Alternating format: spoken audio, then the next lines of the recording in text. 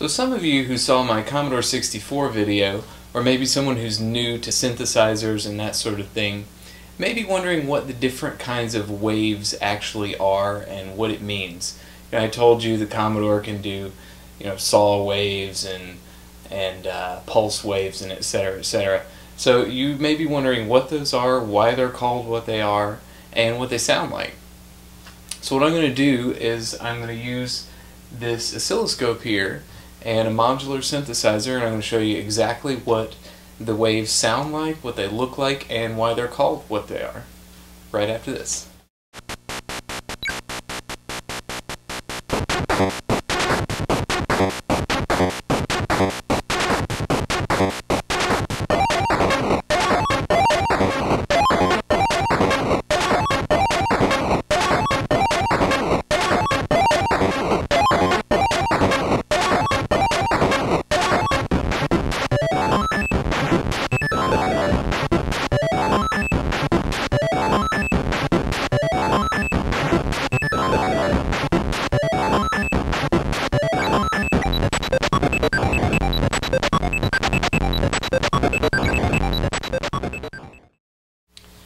So the first thing we need to do is get the sound from here to here.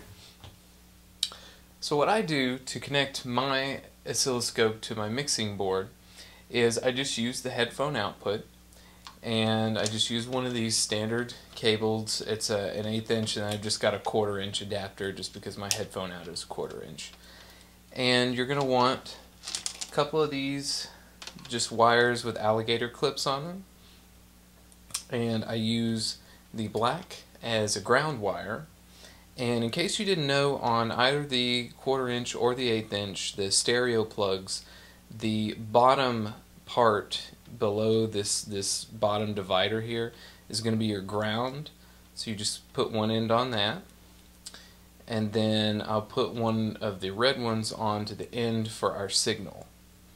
Now the other ends we're going to connect directly to the oscilloscope and what I do in this case and this is just because of what I have here you can connect it really any way you want but I'll connect the other end to one of these guys these banana plugs and then I just plug these in. It's just a little bit easier.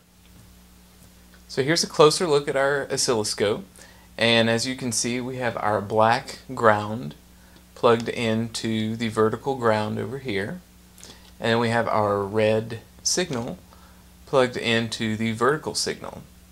So we have our line going across here and when a signal comes through we'll actually see the waveform in the vertical.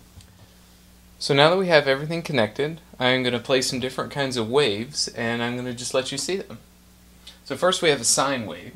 Now this is the purest sound. It's just a simple wave. So you can hear it. And as you can see on here, it's just a pure simple wave. Next we have a triangle wave. And you can see why it's called a triangle wave. It's actually um, a more jagged triangular shape. Next we have a square wave. Bet you can't guess why it's called square wave. Okay. And next we have a ramp. And finally we have the saw. Now the ramp and the saw are two variations of the same wave, obviously. One is just forward and the other is backward. Now if we want to put in another octave and just sort of see what it sounds like, how about we start with a sine.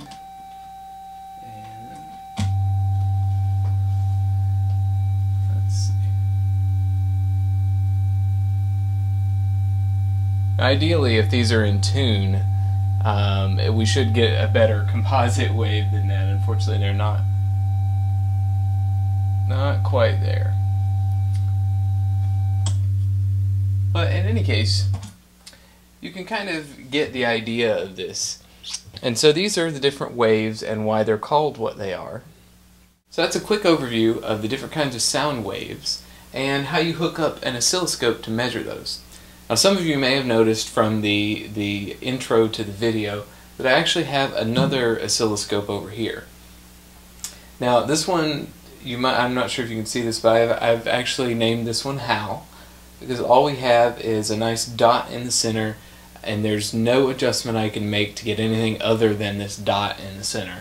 And I've even opened this up, tried to take a look at it. Of course, these are really old, so you know I, I didn't I didn't want to do too much, but there wasn't really anything I could do to fix this one. As much as I'd like to keep it around, I don't really have a whole lot of extra space. So unfortunately, buddy, you're going to the trash. I'm sorry, Dave. I'm afraid I can't do that. Oh my god. Wait, who's Dave?